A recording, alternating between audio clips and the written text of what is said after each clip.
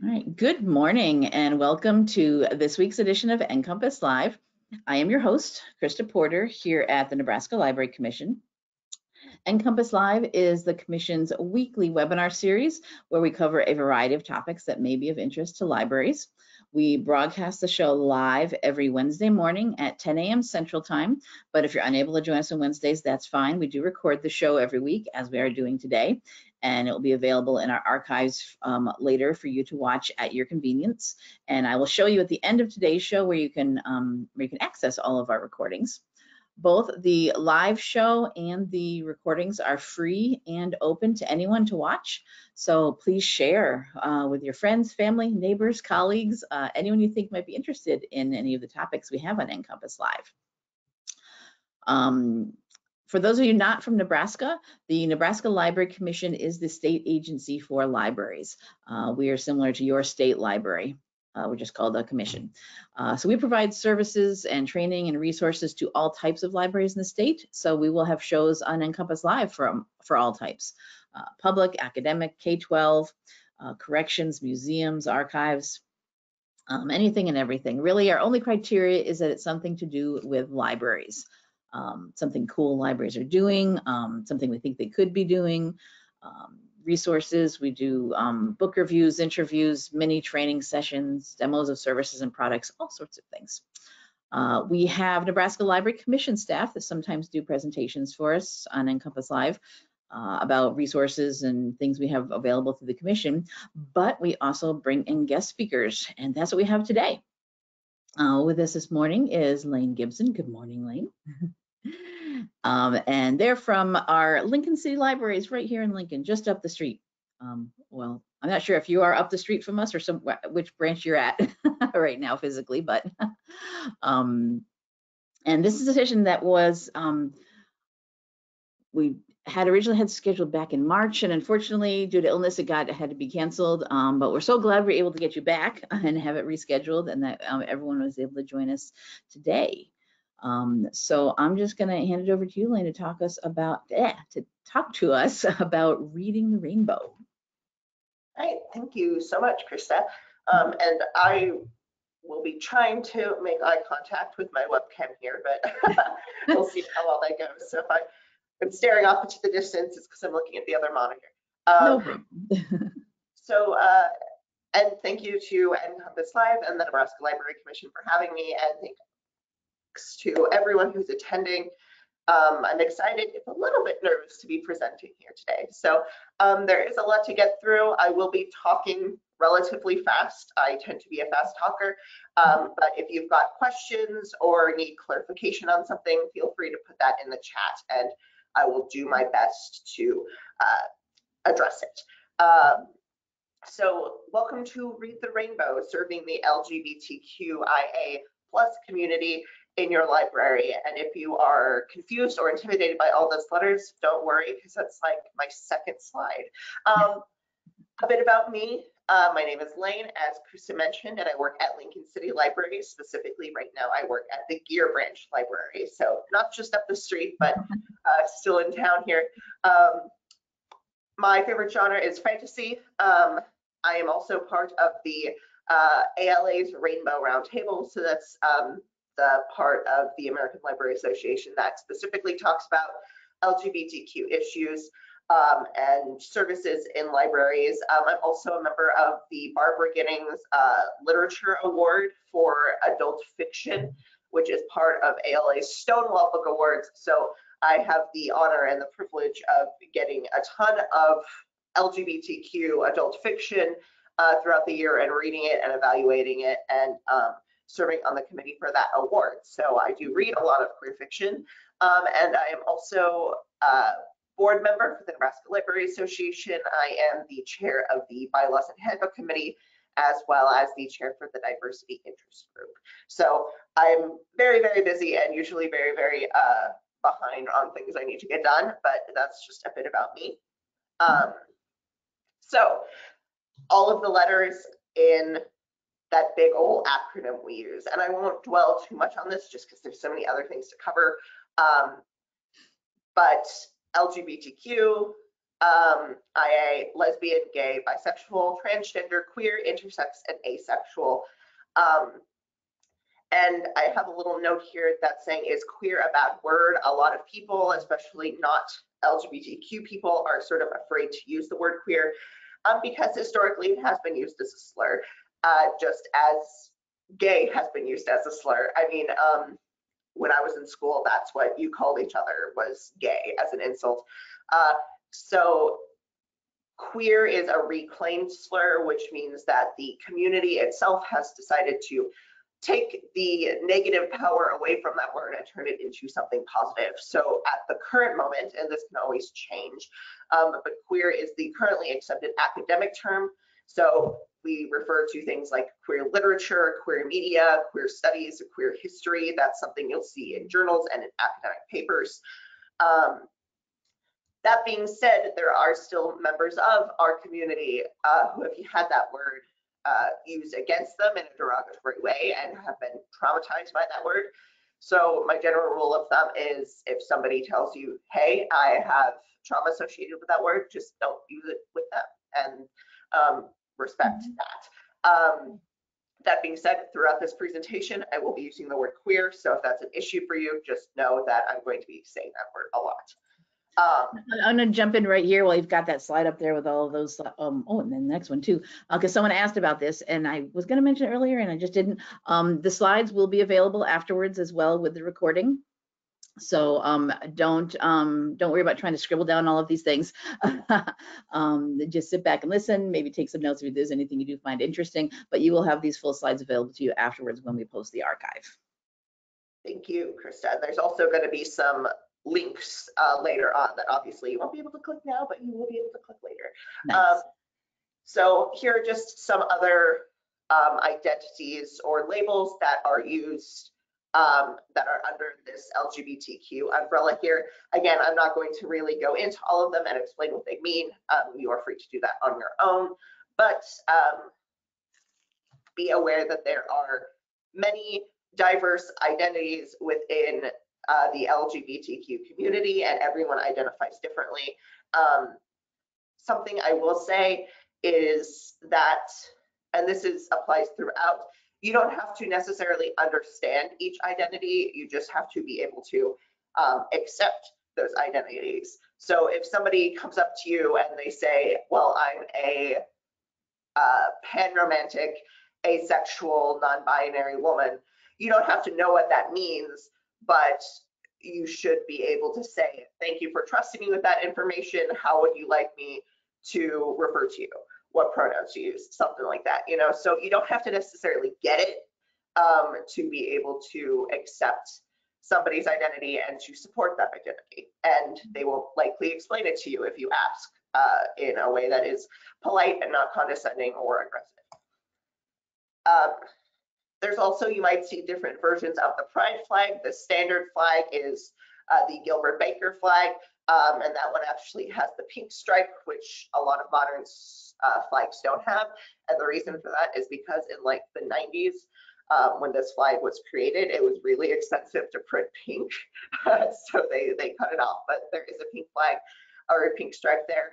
Um, the Philly Pride flag uh, has the black and the brown stripe, and that one was created specifically in Philadelphia um, to bring attention to the struggles and issues faced by uh, Black, Indigenous people of color, specifically um, within Philly in the LGBTQ community.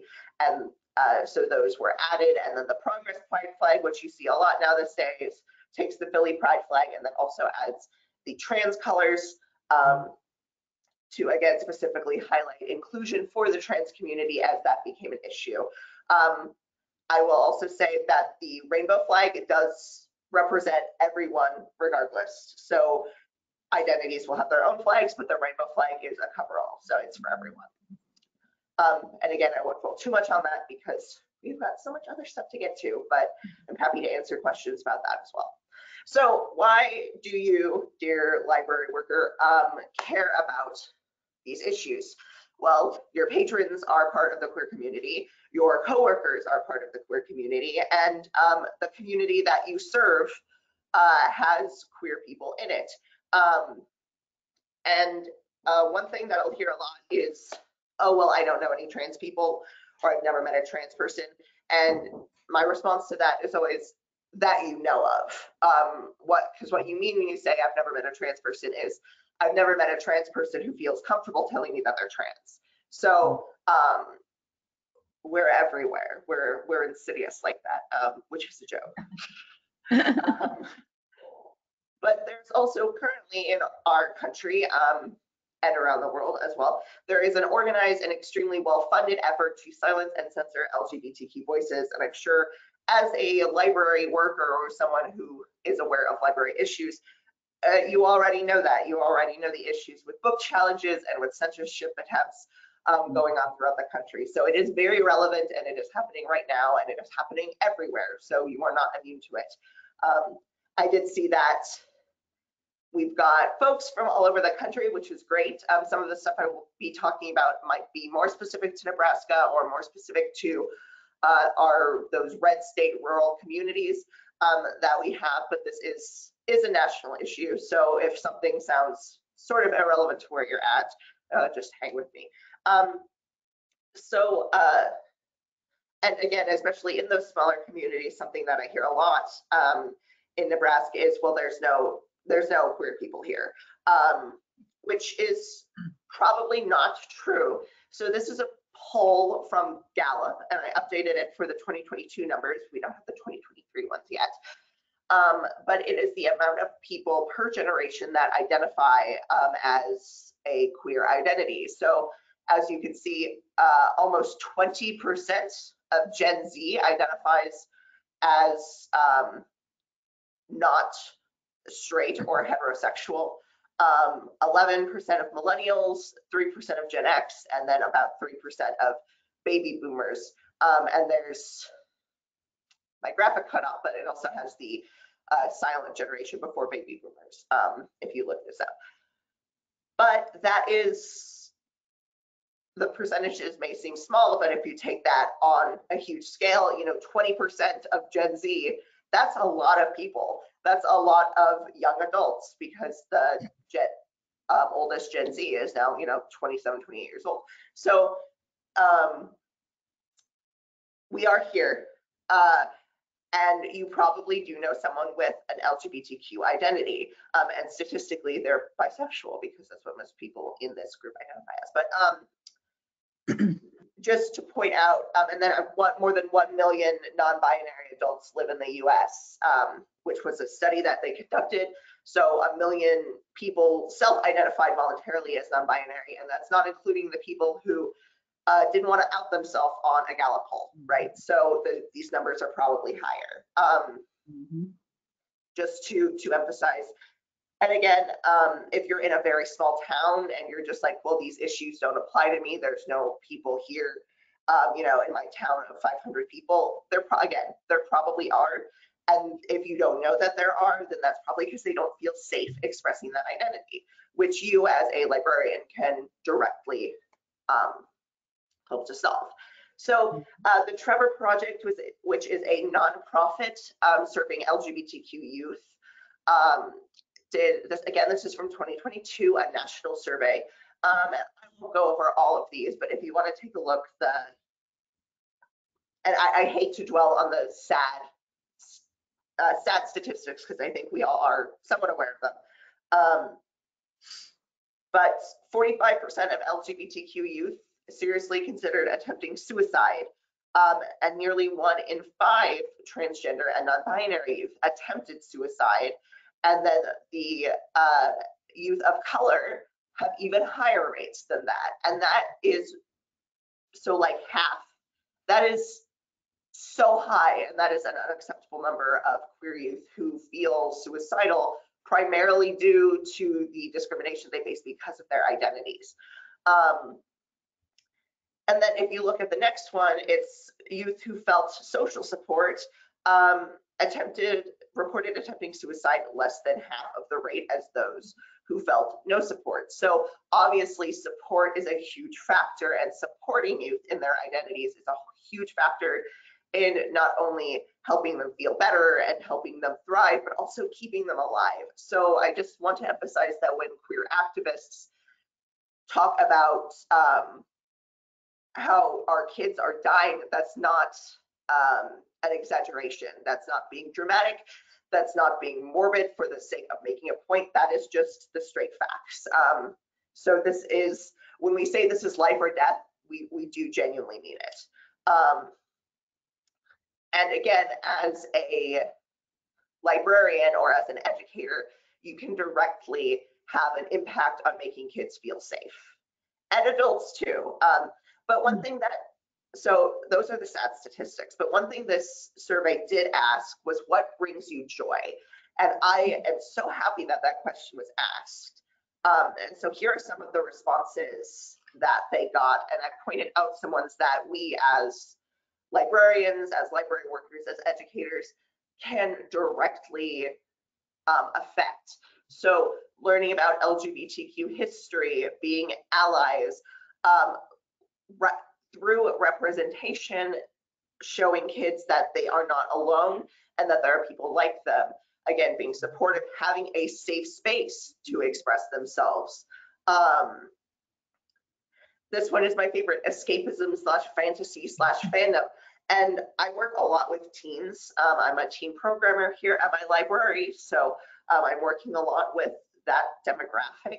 And uh, this is absolutely true. A lot of kids, especially LGBTQ kids, find a safe space to express themselves through fandom, through the books that they read, the shows that they watch, um, the comics that they're into, and being able to explore identity through fiction. And that is a huge thing. And I mean, again, adults do that too, but especially for kids, that is a huge thing. So by being supportive, by creating a safe space within your library, by giving positive representation through the form of representative materials, um, you are able to make kids feel joy and uh, feel affirmed in who they are um, and that they don't have to be ashamed or that they don't have to hide or that they don't have to be scared for their well-being by just being themselves. Mm-hmm.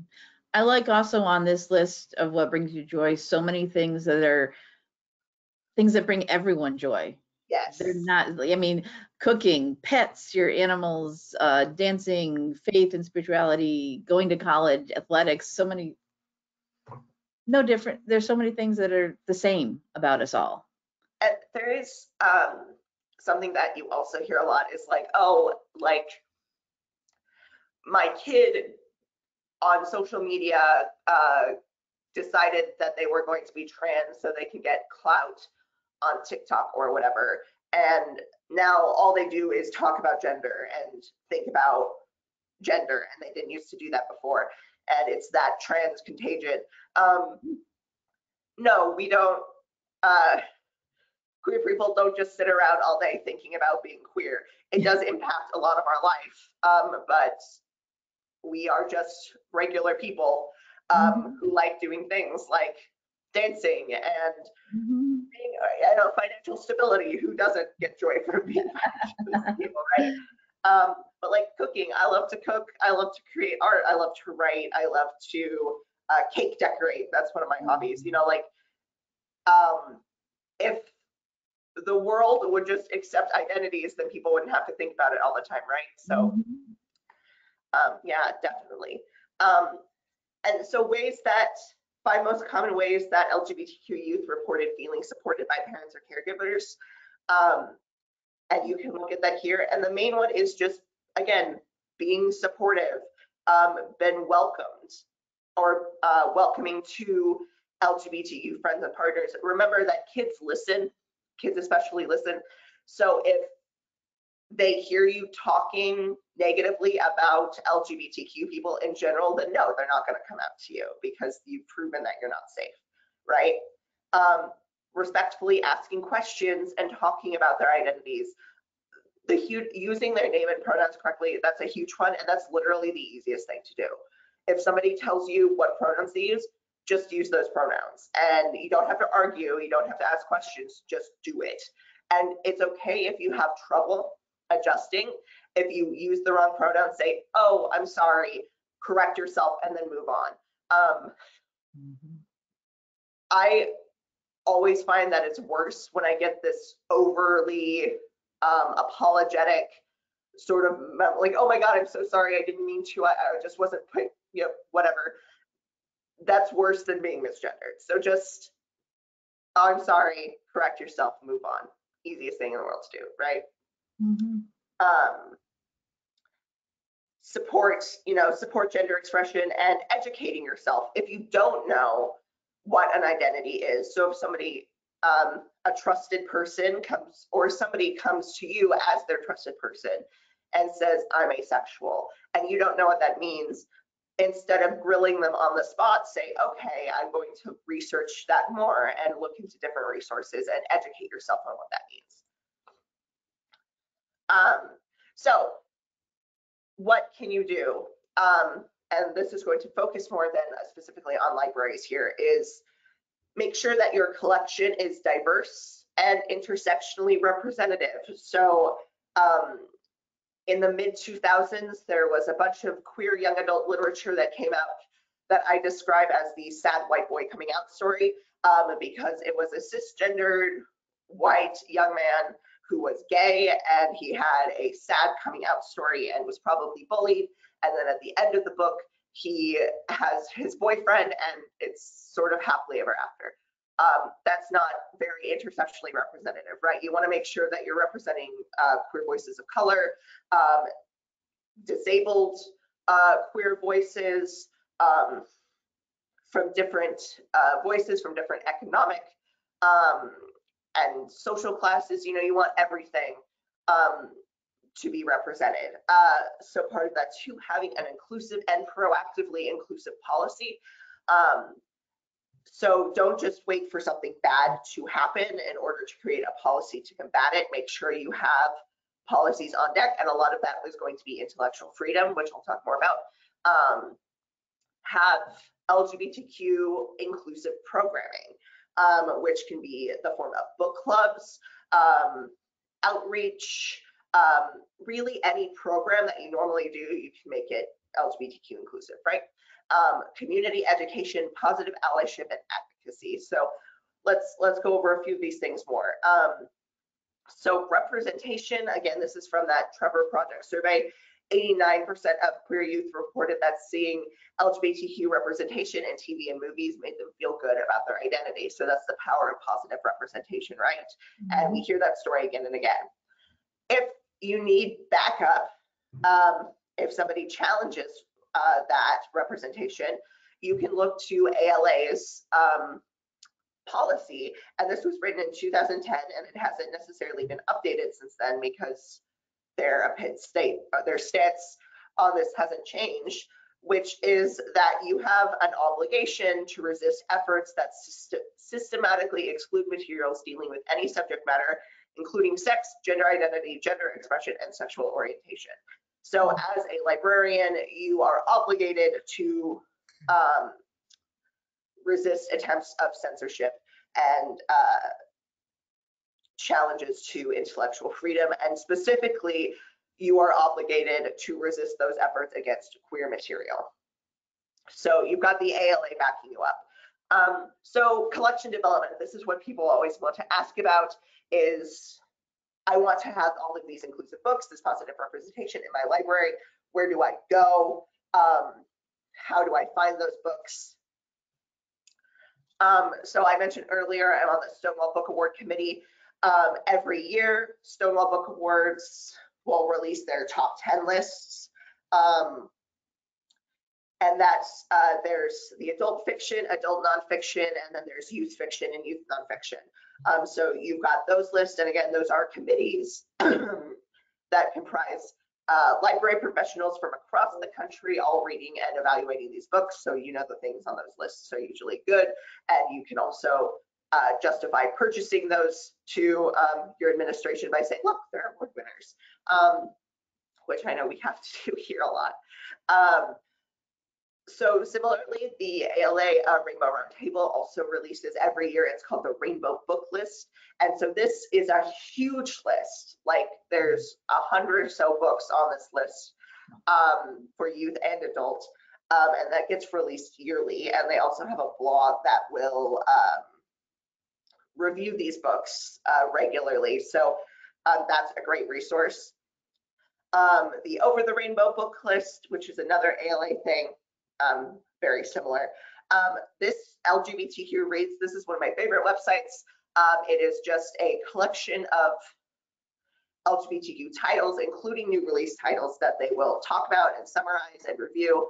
Um, and the great thing about that website in particular is you can also search, uh, narrow it down and search by age group and then search by identity. So you want young adult fiction with bisexual protagonists. You can search specifically for that or you want picture books that show mixed families and you can specifically search for that. So this is a great resource. You can also subscribe to their newsletter um, and get once a week. Um, here are like our top five this week or cover reveals or stuff like that. So um, I would definitely recommend that. Um, publisher lists. So all of the major publishers now, so um, Macmillan, Penguin, um, Tor is a big one. Um, they will have LGBTQ book lists that you can look at if you use like Edelweiss. Um, for your advanced reader copies, you can filter by LGBTQ titles. Um, I know right now Edelweiss has the pub, uh, several publishers on Edelweiss have like upcoming new release um, LGBTQ book lists for Pride which is in June. So now is a great time to look at those lists because they all come out now. Perfect timing to prepare. Didn't even think about that. um, and queer literature is a somewhat contentious term. And if you ask 10 different people what it means, you're going to get 10 different answers. But largely, I will describe queer literature as any work written by or for the LGBT community. So it's pretty broad right? Um, and there's, again, a lot of different resources. These ones are just my favorites. Um, another thing you can do is just ask your community, like um, in June, if you put up a pride display, which I would encourage you to do, is put up a pride display in June, have a little, um, like little slips of paper that says, what's your favorite LGBTQ book? And then look over those and see if you can add those to the collection. Yes, you will get trolls in those replies, but just throw them away. Um, happens here too.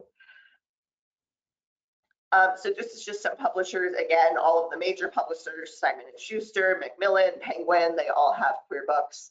Um, I put Tor over especially on my notepad because Tor has so many queer books and I received like two box, huge boxes of Tor books for the uh, fiction award committee that I'm on. Um, so they're one of my favorites, especially for genre fiction. Um, Boom Studios does comics um, and graphic novels, and there's a ton of queer titles from those as well. Um, so again, just take a look. Lots of different publishers doing a lot of uh, inclusive, and, and more and more now we see. It used to be that you could only get queer books from indie or sort of underground publishers, um, and now you can get them from mainstream publishers. So great for collection development when you can only buy from like the three big ones, right? Um, those books exist. So cataloging, this is another big, um, big question is where do we put these books? Well, the answer is you put them where you would put any other book that belongs in a category. So you shelf, you put YA books in your YA section, you put picture books in your picture book section, you put adult fiction in your adult fiction section, right? Um, you don't treat it different. Now, um, subject headings, um, make sure, or at least be aware of what subject headings you're using. Um, so the example I like is transgender people versus transvestites, our catalog still will use the, um, for some of our older material still has the subject heading of transvestite. That was the acceptable term to use in the 70s and 80s. That is absolutely not an acceptable term to use in 2023. So um, you know, be aware of that. Um, nonfiction, so a lot of this comes to nonfiction. So the um, Dewey uh, 306.77, that is for abnormal or deviant sexual behavior. So what I would encourage you to do is look in your catalog and see how much of your queer nonfiction is under 306.77.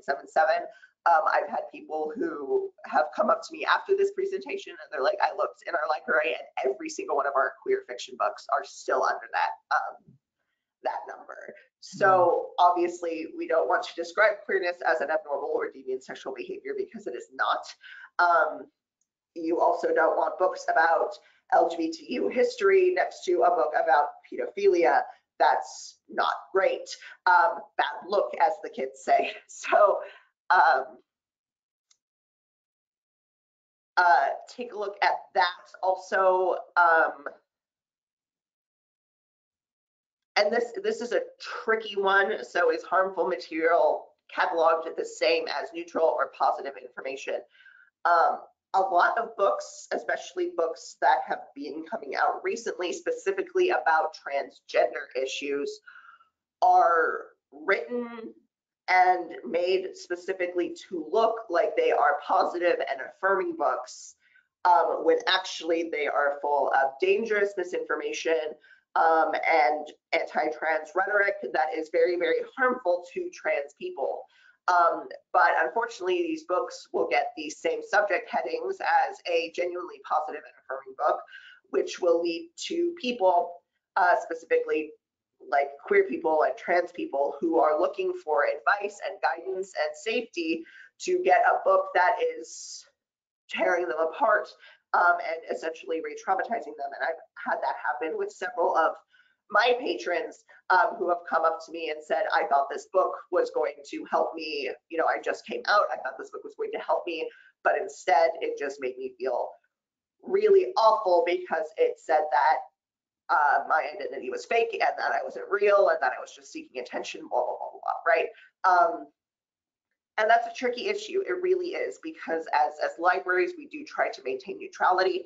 Um, I'm not saying we shouldn't have those books on the shelves, um, especially if there is a demand for them, as much as I hate it, right? Um, and when people check out those books, it makes me feel unsafe that a person is reading that and possibly believing that um, as a trans person, but that's our job. So, and I, I, I'll have to be honest, I don't have a solution for that. Um, I, there's no easy answer to how to solve that problem.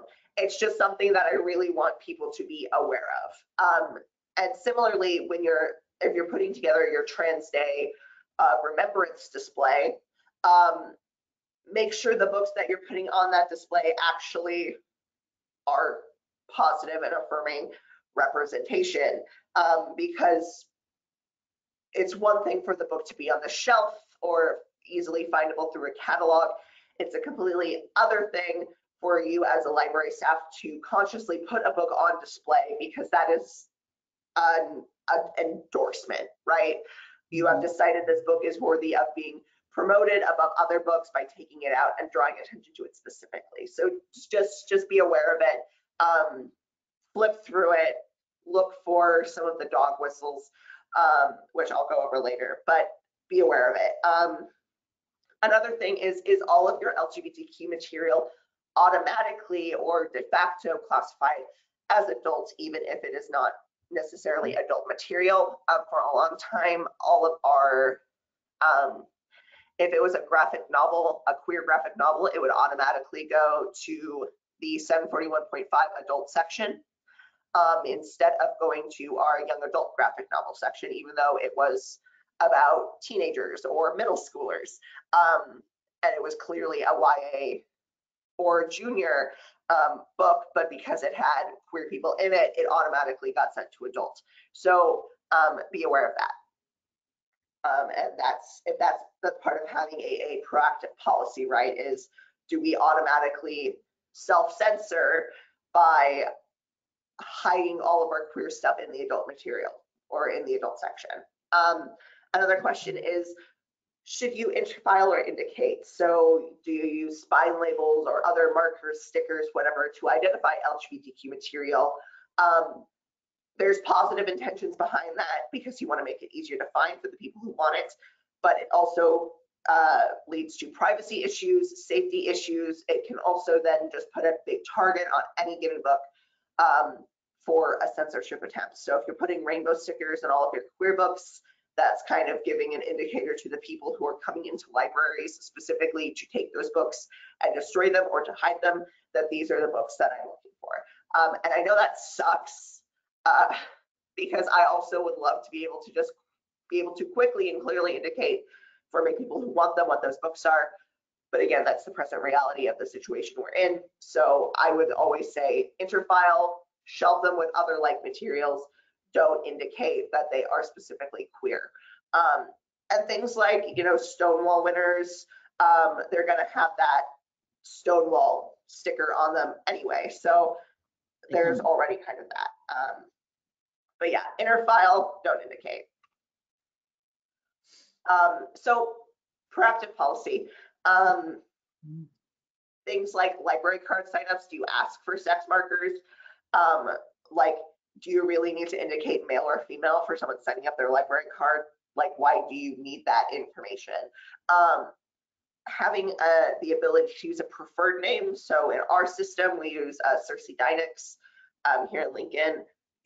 There's uh, their legal name, and then there's a box you can put preferred name and check that. So that's all that you see uh, on the customer side and on our side too. So if you're able to enact that, um, I would encourage you to do that. And the question I always ask if you're tr- struggling on how to ask, I always say, is the name on your ID the name you normally go by? And then um, people, some people will be like, well, yes, of course. Other people will be like, oh no, I, you know, it says Jeffrey, I go by Jeff, which is also important. You know, we want to, you want to respect people's choice of what they want to be called. But seeing like a little, especially kids for me um, and teenagers, seeing a queer teen sort of light up, knowing that they don't have to put their, their legal name onto their library card and that in the library they will be known exclusively as their chosen name. Um, that's really important. Mhm. Um, so I, like bathrooms, do you have gender inclusive bathrooms? Um, do you know how you would respond if somebody comes up to you and says, hey, there's somebody, there's a, someone's in the wrong bathroom, how would you respond to that? Um,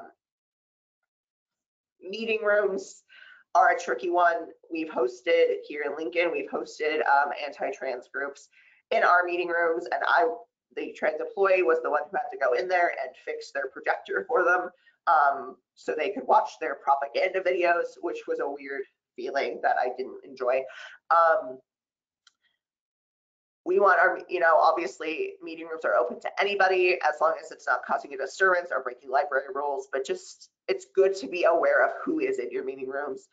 So if you have an, you know, an anti-trans hate group, oh, oops, sorry, if you have an anti-trans hate group in your library, um, in your meeting rooms, be aware of that. So if they do need help, you don't send your trans employee in there, right? Because that's not safe for them. Um, staff training. So um, again, uh, we we had a pronoun training here in Lincoln, um, but uh, make sure your staff is just aware of these issues too.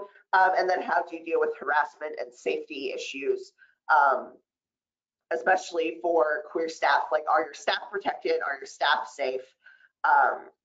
That's really important. And we talk a lot about, again, protecting your customers and ensuring a safe space for your customers, but that extends just as much to your staff, especially your queer staff who has to deal every single day with seeing challenges and censorship attempts against queer materials.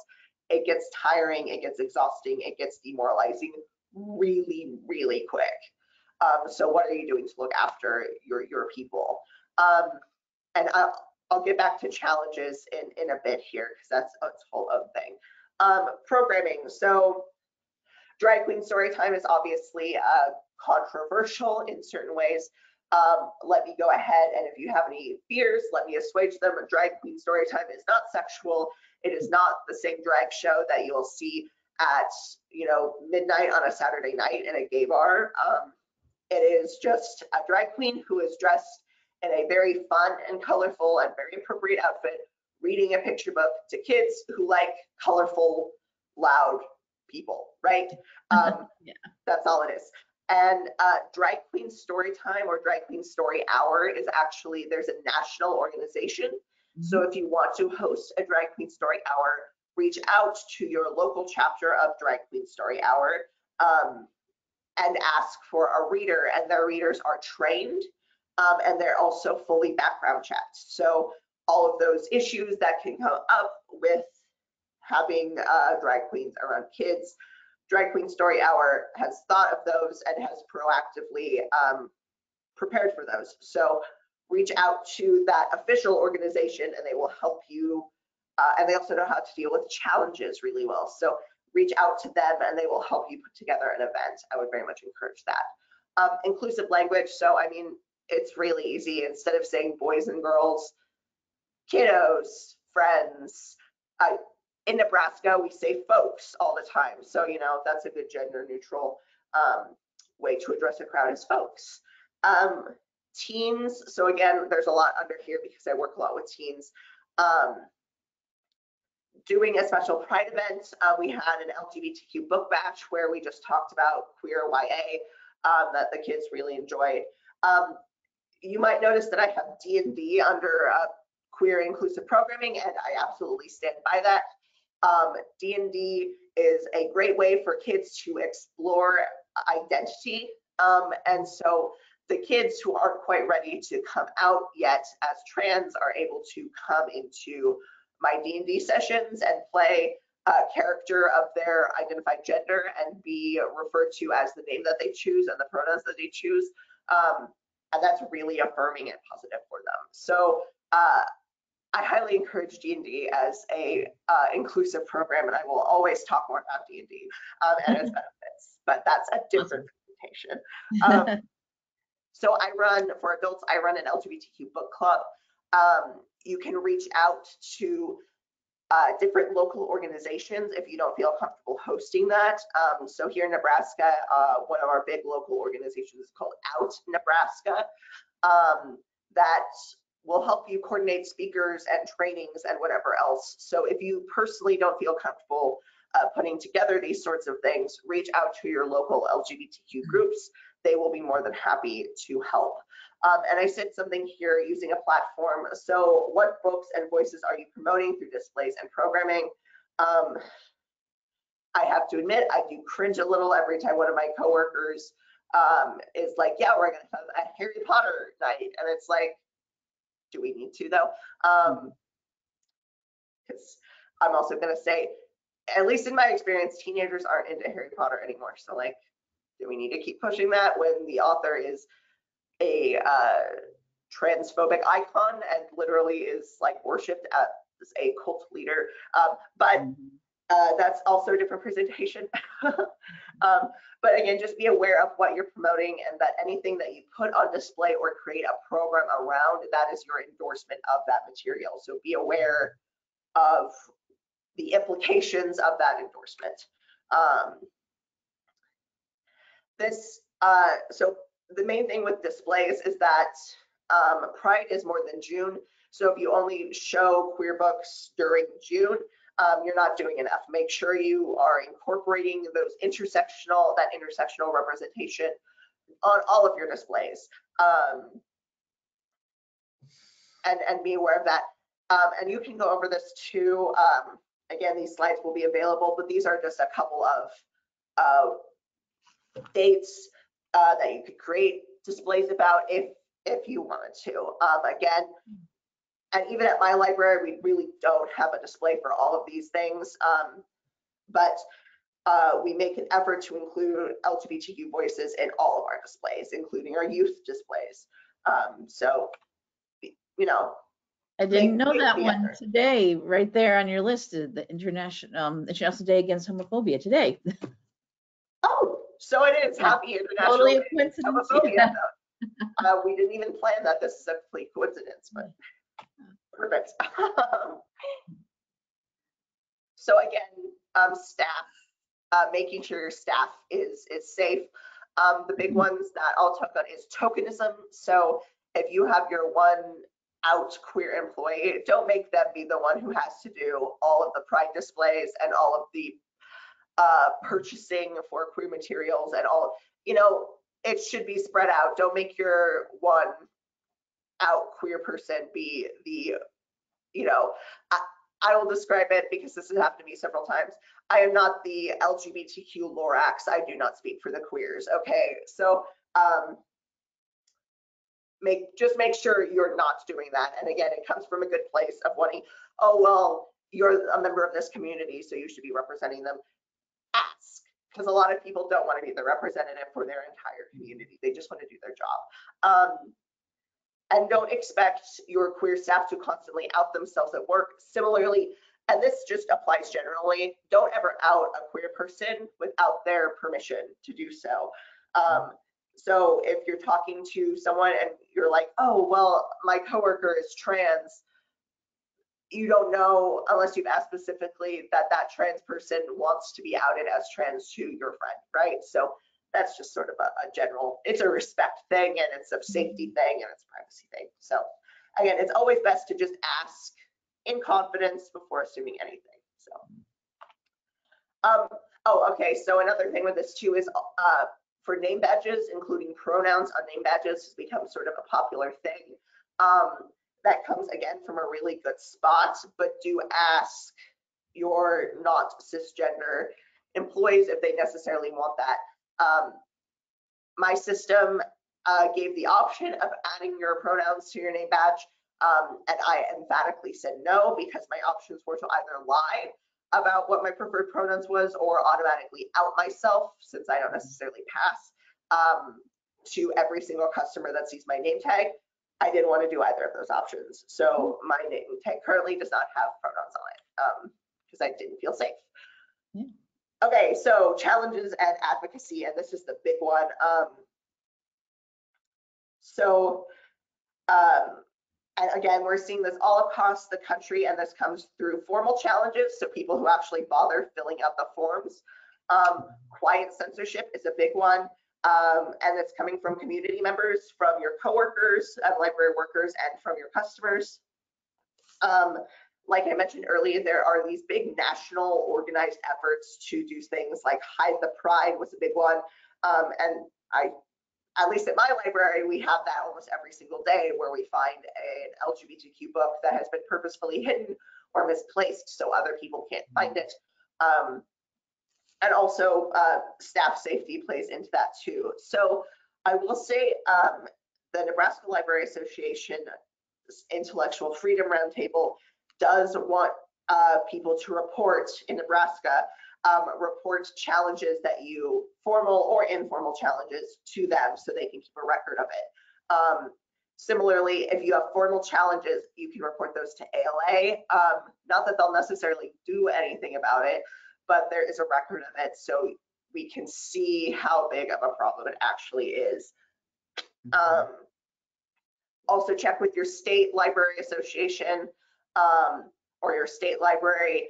If you're outside of Nebraska, I don't know what other states have, but uh, ask and see if there's an intellectual freedom committee or an intellectual freedom roundtable that records those challenges.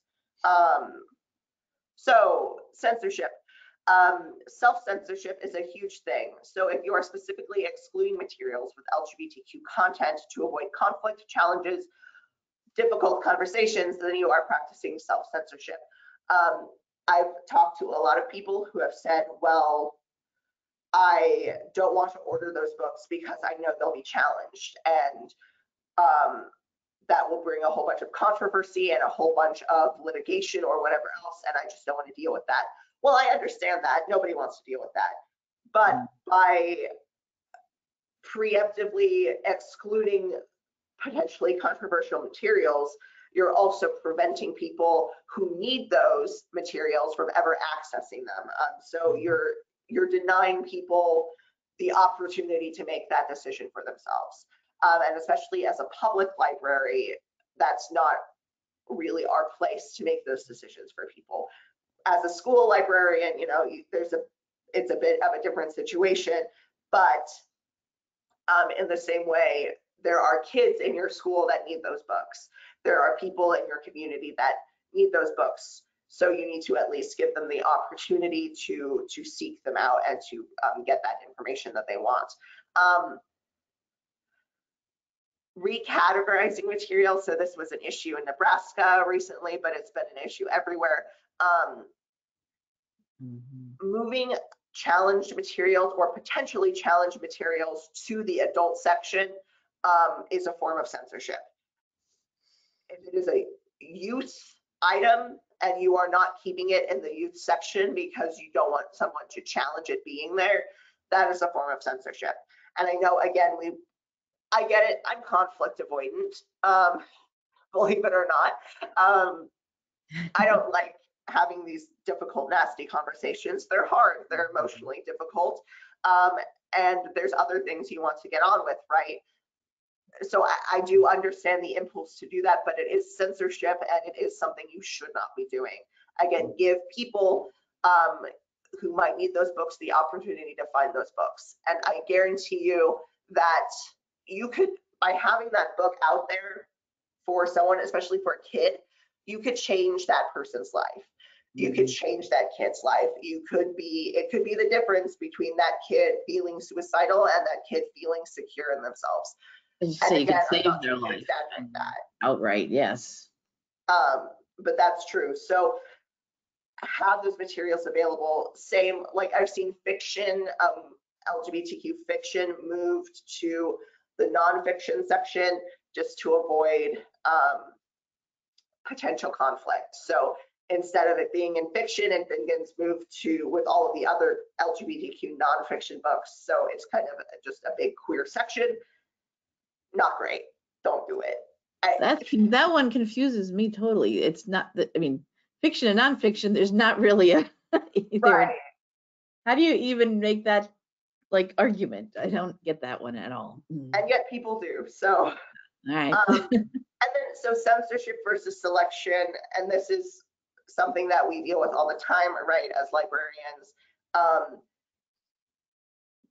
there's a difference between specifically excluding queer materials because you're trying to avoid conflict, opposed to based on, you know, the statistics you have, the usage and circulation statistics that are available to you and all of the other resources, thinking this book wouldn't be relevant to my community or wouldn't be popular in my community or wouldn't get checked out.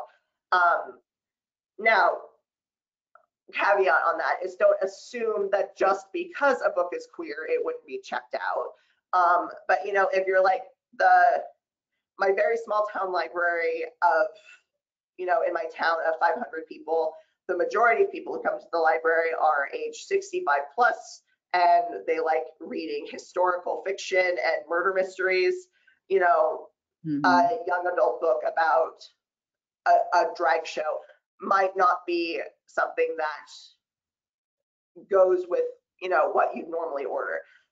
Um, that being said, there are books that would be popular amongst a 65 plus crowd that are a murder mystery or historical fiction that are also queer. So, you know, there's, and the thing about queer fiction is it comes for all audiences and for all different genres. So there's really no excuse to not have it um, at this Mhm. point in time. Um, so there's queer sci-fi, there's queer fantasy, there's queer historical fiction, there's queer murder mysteries, there's queer, you know, there's queer cookbooks, there's queer gardening books, there's everything. So again, no excuse to not have it. Um, and obviously use your own personal judgment, but worst case scenario, if the book isn't popular, it'll get weeded anyway based on circulation statistics after a couple of years, right? So Right. have the book available um, for the people who need it, even if you don't think that anybody in your community needs it. And honestly, in those communities where you're like, oh, well, there's no, again, there's no queer people here, no one will read this. Those communities need it the most. Um, Yeah. And, and being able to uh, expose people to different cultures and different Mhm. um, ideas is a very powerful tool of the public library. Um, And, and, and someone just is commenting here about it, saying it's also, you you were talking about these small towns where the only people that use the library, they're 65 plus. Is that what your entire town is made of, uh, made up of as people though?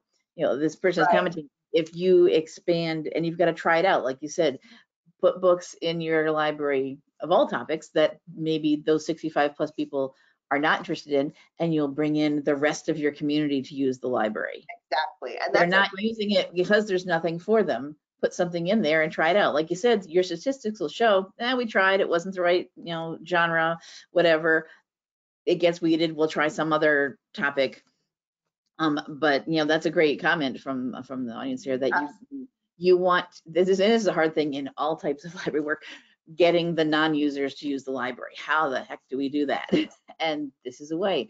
Think of the books that you don't think your people want, put them in the library, and then, oh, suddenly, And you know, even if a book doesn't check out necessarily, someone coming in and seeing that you have that book available, that is an indicator to them that, oh, this is a safe place. This is a place where I am welcome.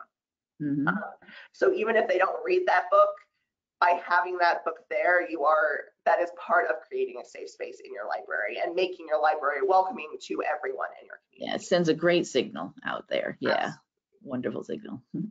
Um, so a- a bit more on the advocacy piece, again, um, report your challenges, um, turn your customers into advocates. So, um, obviously, like as a public library and as a part of a city department, we're not allowed to, you know, uh, have a political bias one way or the other, or we're not supposed to. Um, but turn your customers into advocates for the library, and then the other aspects will come for it. So most people are pro-library, like the large majority of people in, in the country are pro-library. It's generally seen that libraries are good things to have. Um, so if you, you know, let your customers know, like, we're facing a lot of challenges, we're facing a lot of people coming in um, with hateful rhetoric and trying to stop us from doing our jobs and from giving you the library service that you have come to expect. Um, that's very galvanizing for for a lot of folks. So, and the community is is the people who you need the support of. Um, I do have a QR code here for the NLA advocacy tool. Um, the Nebraska Library Association uh, advocacy committee has worked really, really hard in order to foster um, advocacy in Nebraska libraries. So um, I highly encourage you to check that out. Um, if you're not in Nebraska, again, check with your uh, local state organization, um, whatever that may be, and see if they've got an advocacy group working and how you can um, help with that. Um, okay, so a couple of the dog whistles to look out for, especially if you're reviewing a book um, that are anti-queer. Uh, these ideas that any association that being queer automatically makes you a sexual deviant or a pervert, um, that you are not safe to be around children, that you are sexualizing children by um, affirming their identity, which is obviously untrue. Uh, prurient interests is a big one. That word means nothing.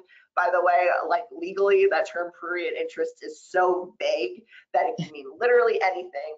Um, so uh, that's one they like to use a lot. If you look at a bunch of the anti-trans or the anti-queer, um, specifically book or education bills around the country, they almost all use the term prurient interests because it is so ill-defined. Um, referring to it as gender ideology, that's a dog whistle for anti-trans rhetoric. Same with uh, someone describing themselves as gender critical. If they're gender critical, that means that they are anti-trans. Um, TERF, which is a term we hear a lot, uh, which is trans exclusionary radical feminist. There is nothing radical or feminist about TERFs. Uh, I will also go ahead and say, uh, well, my controversial hot take here, TERF is not a slur. It is just a term to describe a transphobic woman, typically a woman, uh, cis woman who doesn't want trans people to exist. Um, and then the, unfortunately, because those are also the, the purple, white, and green, that's also the colors for the genderqueer flags, but it's also the like suffragette colors that have been co-opted by um, these trans exclusive radical feminists. So if you see that usually on Twitter, but just be aware of it. Um, things like family values, protecting children or protecting women. Again, they sound good. We want to protect children. We want to protect and support women, but those terms are used to then get people into the anti-trans um, the, on the anti-trans train. Um, indoctrination, again, no, queer people are not indoctrinating and brainwashing children. They're just trying to, we're not brainwashing your kids. We're not trying to indoctrinate your kids. We just don't want your kids to kill themselves um, because we used to be depressed, suicidal queer teenagers, and we don't want that for kids. Um, we want them to love themselves and feel affirmed and be happy and thrive in their life. Um, the two sides are both sides fallacy, especially in this argument, wherein if one side is trans people are humans and should be afforded the same dignity um, of existence as everyone else, and the other side is no, they shouldn't. That's not exactly an equally balanced argument. So the idea that if you have affirming uh, queer materials in your library, in order to be fair or to be neutral, you have to have violent anti-queer rhetoric also in your library. That is just categorically false. That is not true. That is not a, a true equivalency. Um, and that's something that you will hear a lot is, oh, well, you don't have anything from the other side. Well, the other side wants us dead. So, and we just want to be here. So is that, is that fair? You know, just think about it. Um, uh, and I, I always bring that up because that's one that I hear a lot. Um, similarly, I mean, if I say I am trans and my pronouns are he, him, that's not my opinion. That is a statement of a fact. So if you, if your opinion is that actually I'm not trans and that I'm a woman, you're just wrong. Is Mhm. it's not your opinion, you're just wrong, right? Okay, so that was my little side tangent on that. Um, but again, it's something I hear a lot. So um, this is again, uh, there's a QR code here, but when these slides are available, there's a link. This is just legislation of concern in 2023 um, that specifically affects libraries, and a lot of it is anti-queer. A lot of it is preventing access to uh, LGBTQ information or resources in libraries. So it's good to just be aware. Um, the ALA Rainbow Roundtable also has a toolkit, um, which is this huge document full of everything from collection development to how to deal with challenges to programming ideas um, and everything else. So that is a great resource um, that I would absolutely recommend, especially if you need sort of a starting point.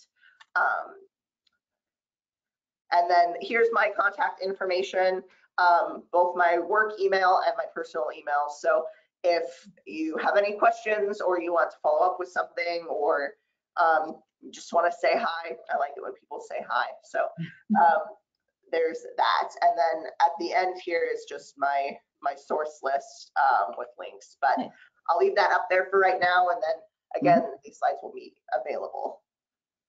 Yes, absolutely. Um, And that's all I have for today. Yeah, awesome. Thank you. Um, um, thanks, Lane. This this was a, a wonderful session. Um, that we've talked about um, various LGBTQ issues on um, NCompass Live and previous shows. You all can look in our archives for previous um, reading diversely sessions we've done and other things. Um, but it's always good to have, you know, everything is changing. Things are changing so much and there's lots going on. Um, and it's it's getting, like you said, more and more dangerous and an issue that we have to be on top of. Um, so this is great. I'm so glad we finally get you on the show. So anyone does have any questions, if you want to ask, we are a little after 11 a.m., but that's okay. Um, we don't get kicked off our show because we hit the official end time. We'll go as long as it takes for anyone who has any questions or comments. Um, so go ahead and type in your questions section. I see that some are coming in. That's great. We will stay as long as we need to to answer them and get through everything. Um, if you do have to uh, take off because you just plan to be here till 11, that's fine. We're recording, so you can always come back and um, watch the recording um, when I have that up. Probably by the end of the day tomorrow, it should be up and processed and ready for um, you all to watch. Um, um, so yeah, please, um, any comments, any questions you have, any comments, if you've dealt with any of this at your library, we'd love to hear your stories too. So let's see here, what we've got first question. Um, what programming do you recommend for ages five to 11 um, besides drag queen story time? They already got that down. Um, so what other kind of programming for that age, um, you know, five to 11? So what would that be? Tweens or lo- less than tween, I guess. I don't know. Where does tween start? So um, I will say that again, I usually do teen and adult stuff, so youth programming isn't necessarily my my biggest wheelhouse. Um, but I would say for that age group, um, you don't need to necessarily have a queer specifically focused program. Um, but having, I mean, and your like story time rosters, right, have books that include um, queer people, queer protagonists, mixed families, stuff like that. Just again, included into um, your your story time rotation. I would also say um, anything that again kids can explore and express um, an identity. And at that age, it's going to be it's very fun to dress up and run around and pretend to be a princess or a knight or a dragon, um, you know, something like that. But uh, so one of the um, programs that we've had at our library, it was sort of like Wild West themed. And so um, instead of the kids either being a cowgirl or a cowboy, they just got to be a cowpoke. Um, and they got to dress up and there wasn't like, here are the girl hats and here are the boy hats. It was just, here are the ways you like, you can pick your horse and you can pick your cowboy hat and you can design your own little, you know, sheriff badge and then we'll run around and play. Um, and the um, uh, Rainbow Roundtable Toolkit um, that I mentioned earlier, they, they do talk about youth programming. Um, and I do apologize for that not being a very satisfactory answer. Um, I'm not, again, uh, youth programming is not, or, or that that uh, that younger group is not um, who I normally work with. Yeah, Um, but that's good. To Just try and make things not gender specific, just be, you know, take that out of all of your planning and make it as non as you can, and then they can do whatever they want. Yeah.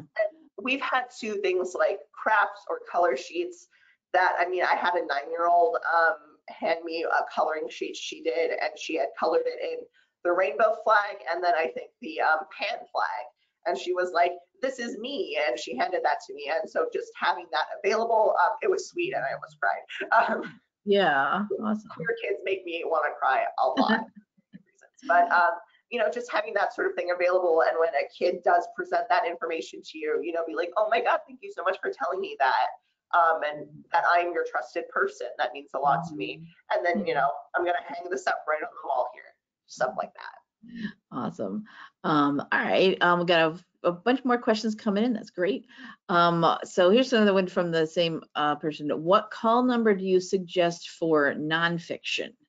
Or um, and they say 612. Is that uh, yeah so correct? um, or- six see Six now. I'm, I'm getting called out um six twelve yeah um it's just that that uh what was it 306.77 that deviant it's um, abnormal sexual behavior one that you want to avoid um and at my library we pretty much moved out of that one um and into the there is a specific call number that is used for like LGBTQ history and stuff. Um, and I don't remember what it is off the top of my head, but 612 sounds sounds right. There's also, I think there's another 300 one um, that we put a lot of stuff in and I can picture it in my head on my shelf, but again, I don't remember what the actual call number is. Um, but I, yeah, say what the, um, what uh, what is the actual subject matter of it? So is it history? Is it like poetry? Is it um, again? Is it talking about like a social movement? Put that where it belongs with other like items.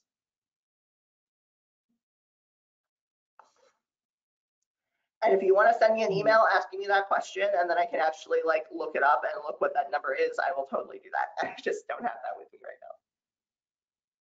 Yeah. Uh, all right, thanks. Uh, let's see. Um, sorry, I'm reading through this one because it's longer.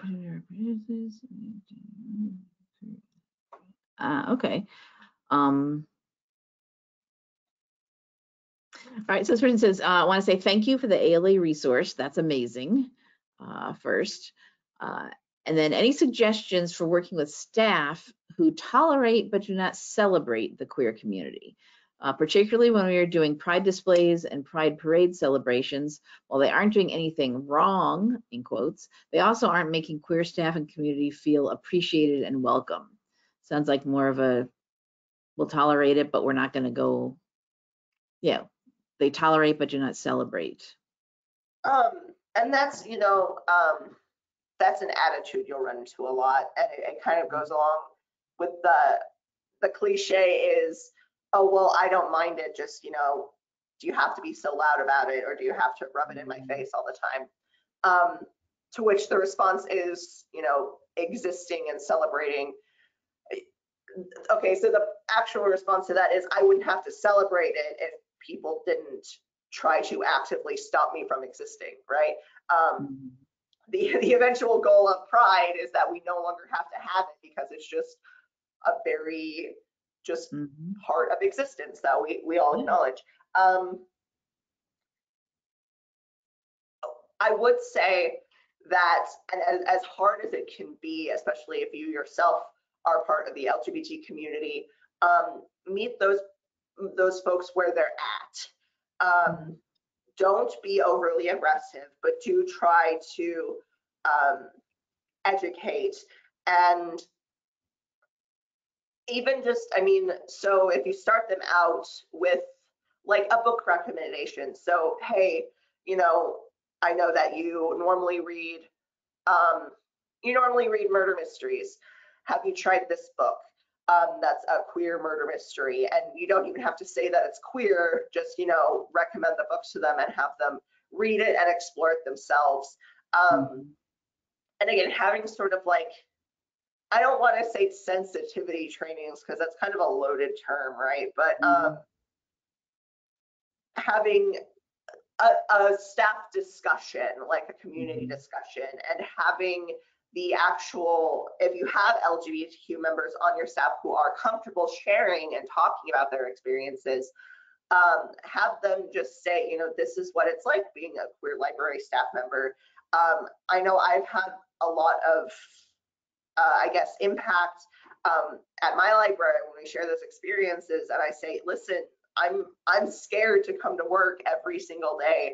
I'm scared to run team programs, and I'm scared to say the wrong thing because it would just take one parent saying that I did something wrong to their kid to, you know, get me fired.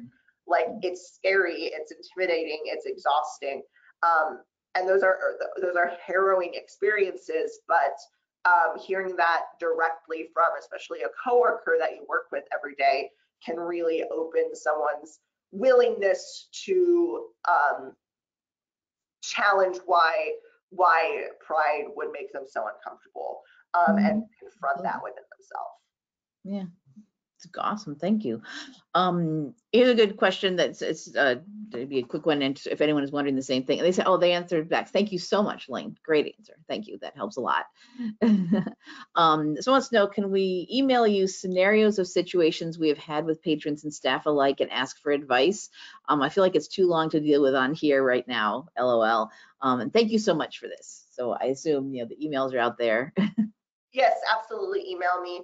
Um, you can also, um, if, if you're in Nebraska as well, um, email uh, the NLA diversity. It'll just get forwarded to me. But um, as uh, the diversity group um, that we're just kind of building up from scratch, basically, one of my goals for that group is to be able to provide support um, for libraries in dealing with these specific issues. Mhm. So you can email me directly. Again, my work email is up there, my personal email is up there. But if you forget that, um, if you just uh, email NLA diver NLA diversity, I think um, Mhm. I will also take a look at that there. Yeah, awesome. Thank you.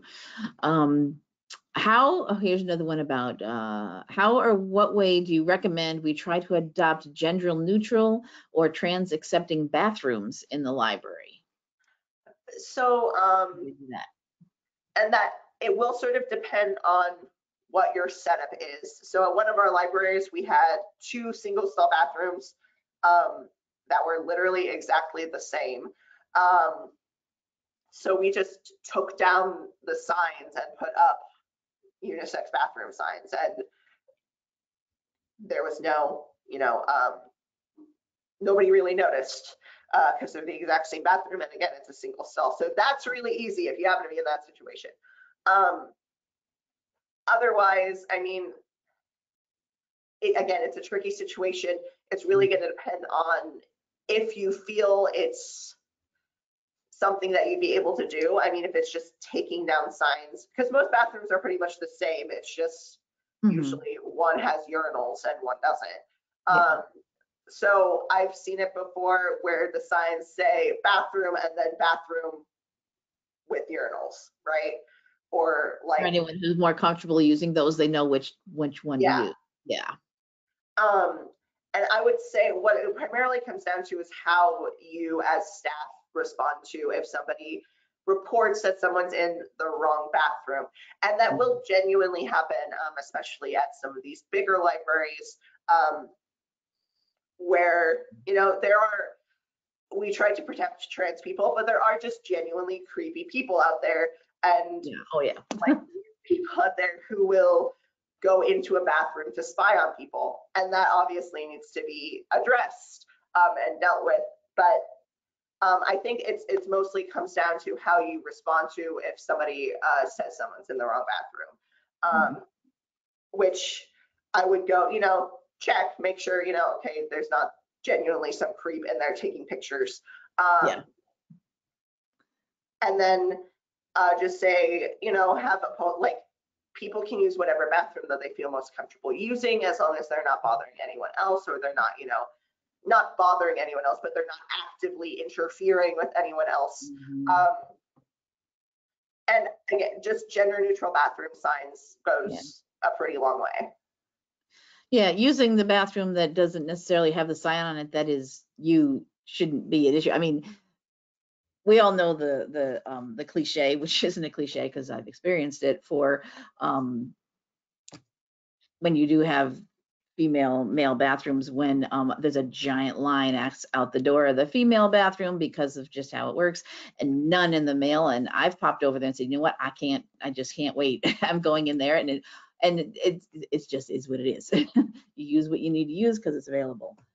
And if you're not, like I said, if you're not doing anything illegal or disturbing, then everyone's just doing what they do in their bathrooms. Um, All right, um, got a couple more questions here, but I do want to read this before the person says they're, they're taking off here. Um, thanks so much for all the info here. What a great workshop, um, and for answering our questions and suggesting wording to use. Um, it really helps us navigate library life and stay upbeat and encouraged. That's good. I mean, it is some serious things, but that's good. Yeah, it's, it, you can do it and make it be a, you know, a good thing in the end. Someone says they will be emailing you with some more questions. Um, and uh, yeah, awesome. Uh, all right, so I got a couple more questions I do want to get ans- answered here. Um, you mentioned that some well-funded groups want to silence the LGBTQ community. Um, are these groups mainly religious conservatives? And do we know? Um, see, this is where I walk the, the very thin line between stating an objective fact and saying something too political that could uh, cause trouble with my library board. But um, the, the objective answer is yes. Um, that is typically what these groups are or who they are aligned with.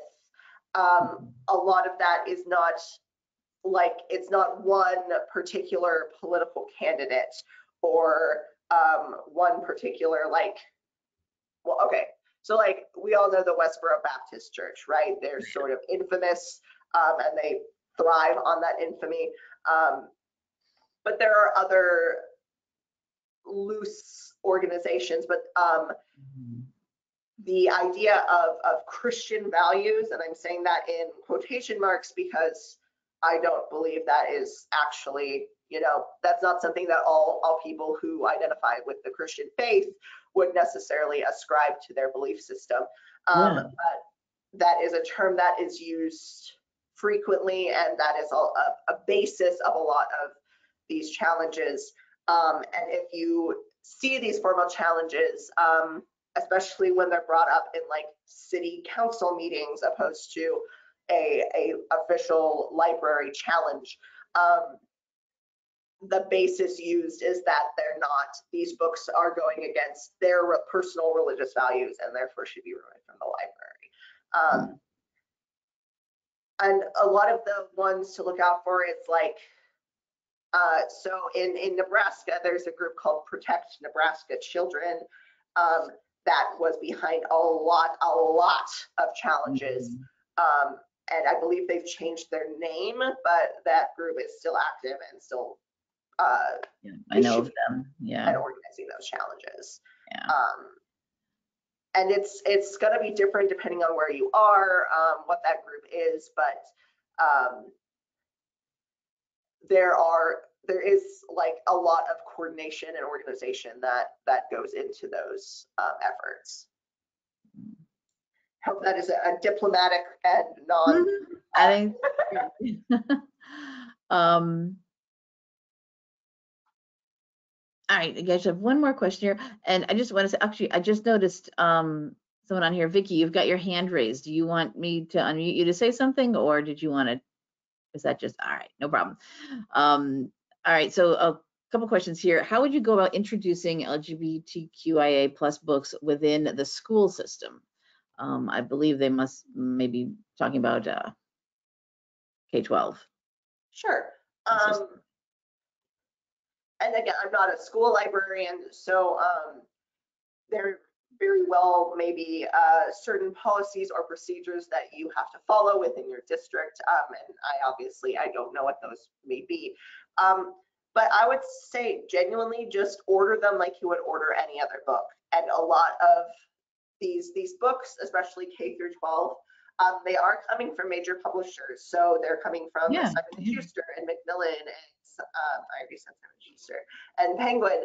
Um, so you can order them along with your regular books. I mean, like, um, if you're getting a bunch of picture books about uh, kids from different backgrounds, then LGBTQ books would qualify with the rest of those picture books.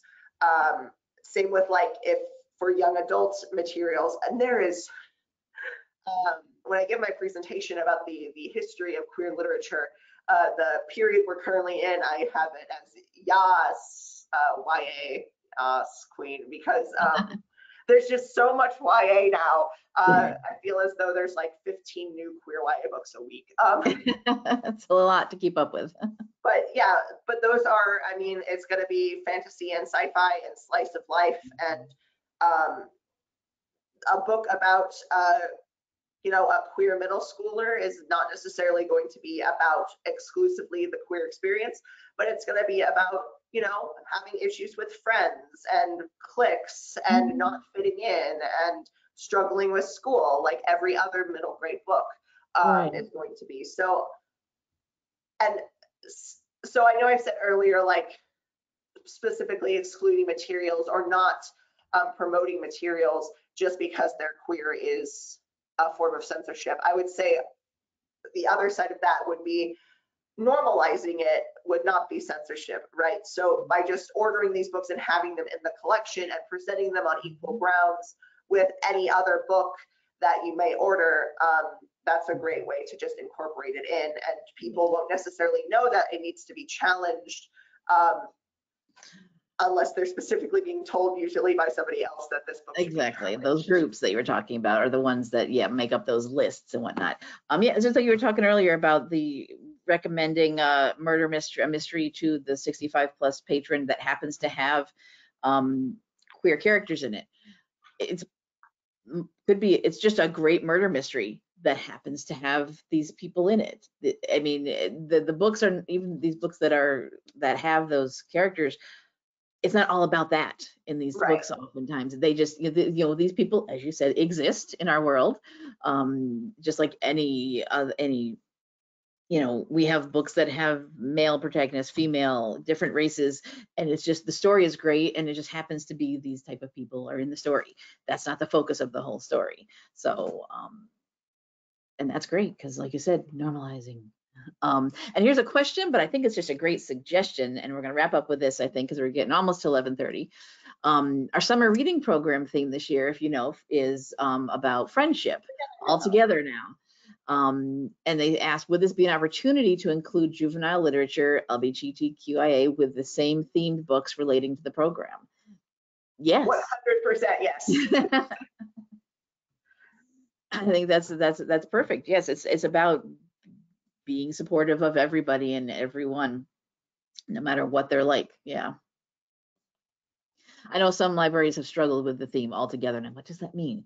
Well, it, it's about friendship and acceptance, and yeah. It is, it's a very vague theme. Um, we've struggled with it too, but the, the positive of that is that you can pretty much do whatever you want and then justify Yeah. it with the theme. So Mhm. Be nice, yeah. All right, I think that's, we'll wrap that up for the questions. Um, as Lane said, please, um, email questions, comments, anything you want to them. Um, if you want to discuss issues at your library, uh, Lane is happy to do that. So we've got some thank yous coming in, very informative. And I love this one here. Fantastic. Keep up the rainbow love. Absolutely. We will. Um, all right, so thank you so much, Lena. Like I said, I'm so glad we are able to get you um, on the show since we had uh, you, were ill earlier, but this is um, great. All right, so thank you everybody for being here today and sticking around with us. Uh, thank you, Lane. I'm going to pull back presenter control to my screen to wrap up today's show with my usual wrap up here. There we go. Um, there's the uh, event page for today. Um, as I said, we are recording the show and it's going to be on our archive page. Um, if you um, type in NCompass Live, the title of our show in your search engine of choice, it's the only thing called that on the internet. Uh, nobody's allowed to use that name. uh, so you can find us and you'll find our upcoming shows here. And then at the bottom of the list is the link to our archived NCompass Live shows. Today's show will be at the top of the list here.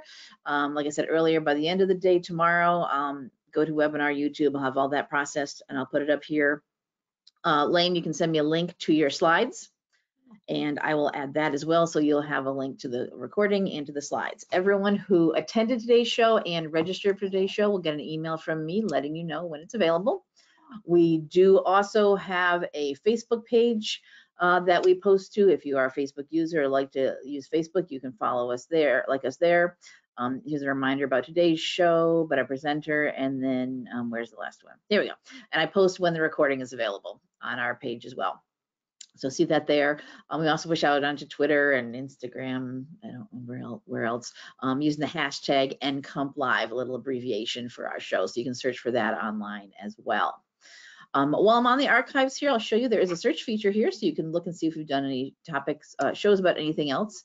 Um, you mentioned Dungeons and Dragons, and I did want to show we um, had that previous show that I know you were involved with, but you did not do this particular one because you weren't available. But Critical Hit, Tabletop Gaming in the Library, Lane's colleague Caitlin did this session for us. All those resources about running D&D in your library. So this is what you do, right, as well? absolutely. And Yeah. um, if you, again, if you ever want to talk about D and D in any capacity, email me as well. I will always talk about it. So Yeah, this is one, yeah, one of my one of my loves. I, my husband and I and our friends have been playing D and D for longer than we can remember. So, um, but you can search here, watch any of our recordings. Do pay attention. This is our full show archives. I'm not going to scroll all the way to the bottom because it's a giant list. But going back to when it goes back to when NCompass Live first premiered, which was which was January 2009. So we're on a 15 years worth of recordings, and they are all here. As long as we have a place to host, which right now it's all on YouTube, we'll always have our recordings out there for everyone to watch. Um, but do pay attention to the original broadcast dates of anything. Um, some shows will stand the test of time and still be great and useful, but some things will become old, outdated. Uh, resources and services may have changed drastically or might no longer exist anymore. Links might be broken because things have gone away. Uh, people might not work, not work at the same library they did when we first presented. Um, but just be aware of that when you are watching any of our recordings. Um, but this is something the librarians do. We keep things for historical purposes, and we will as long as we have um, a place to host them. All right, so that'll wrap it up for today's show. Um, we've got our upcoming shows here over the next few months. You can see already filled in, and I hope you'll join us next week when um, we'll have another Nebraska library, uh, Jenny White, the library director in our Schuyler, Nebraska Public Library, talking about how they have been doing some work um, with building partnerships in different languages and dealing with that. So um, please do sign up for next week's show and any of our future um, NCompass Lives. Thank you, everybody. Thank you, Lane. Good to see you. Maybe we'll have you on again for talk about some other things you've been doing um, in the library. um, and hopefully we'll see you all on a future episode of NCompass Live. Bye-bye.